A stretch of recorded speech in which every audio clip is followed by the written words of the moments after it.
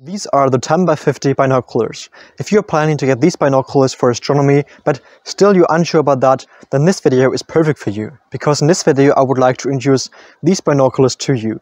And I would like to talk about both advantages and disadvantages of using these binoculars for astronomy. And in the end I would like to show you a few objects that you can easily observe with these binoculars.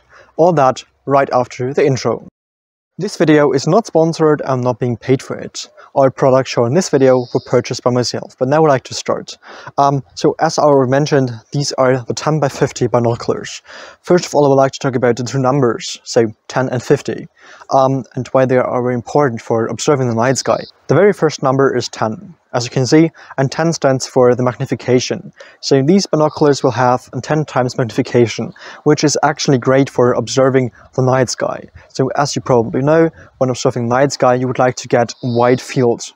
And 10 times magnification is actually great. So I personally have a few other um, binoculars for observing the night sky. Some of them have 20 times of magnification, some 5, and this one uh, has 10 times of magnification. And I personally think that um, something between 10 and 20 is actually great for observing the night sky because you will get a wide field of the night sky which is amazing to find objects in the night sky and, and on the other side you will get great details. You will see great details and great structures in those objects. So 10 times magnification is actually great for observing the night sky. But the other number, say 50, is a number that is more important for observing the night sky. So as you know, those objects in the night sky are very, very dark. And therefore it's very important that a lot of light comes into those glasses and therefore it's very important that the diameter of, of these glasses is big. So in this case we have um, 50 um, millimeters, so the diameter is 50 millimeters and that's actually great. Um, so it's very important that you have a big diameter of glasses and in this case 50 millimeter is great for um, revealing structures in those objects.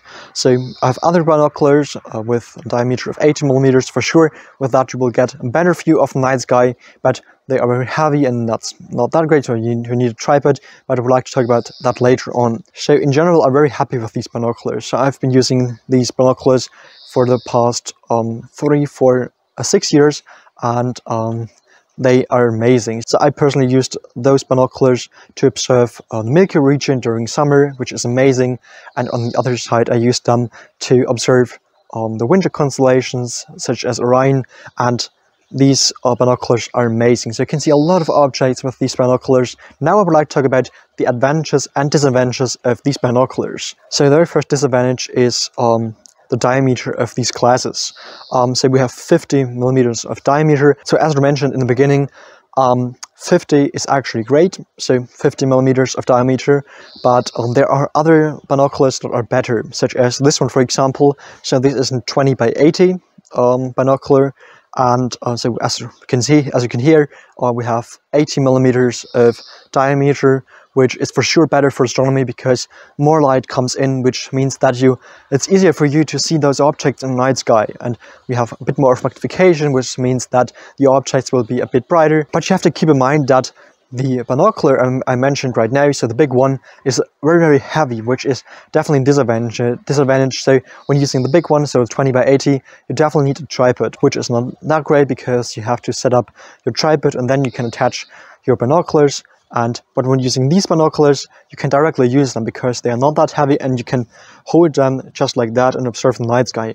For the other one, you need a tripod, so that's definitely a big uh, advantage of these binoculars. And in general, they are not that expensive and um, you can get a great view of the night sky so you can observe a lot of objects so in general, I'm very happy with these uh, binoculars and I would definitely recommend them. So if you're planning to observe the night sky and your binoculars should be portable, which means that they are easy to use, then I definitely recommend these ones because they are not that heavy, but still you will get a lot of light gathering power, so 50 millimeters of diameter, then these binoculars are definitely great for you. I definitely recommend them.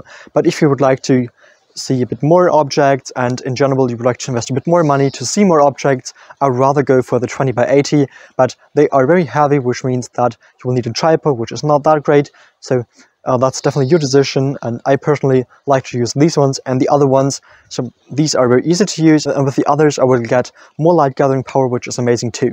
So that's definitely your decision. I like both but I definitely recommend these binoculars for astronomy Now I would like to talk about a few objects that you can observe with these binoculars because these binoculars are definitely amazing for observing night sky and these are all objects I observed with these binoculars in the past. So these are definitely objects that you will see with these binoculars in night sky.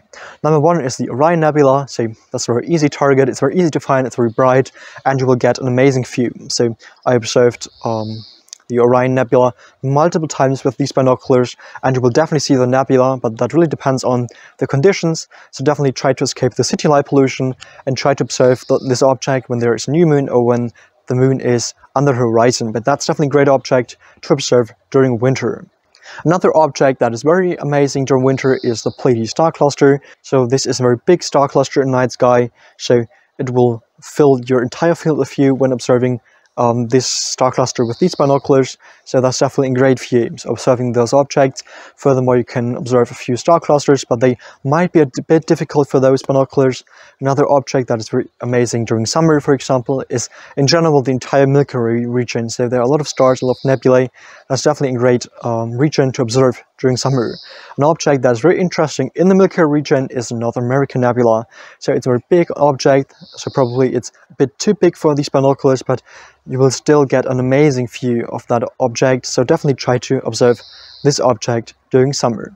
So another object that's interesting is the Andromeda Galaxy and the Andromeda constellation. So it's a very big object and you can even see the spiral arms when looking through these binoculars. So definitely plan to observe these four objects with your binoculars. If you have any more questions on these binoculars, definitely feel free to ask me down below in the comments and I will definitely help you. If you found that guide helpful and this video was interesting to you, I would definitely appreciate a like and a subscription. Otherwise, thank you so so much for watching and until next time, clear skies, Felix.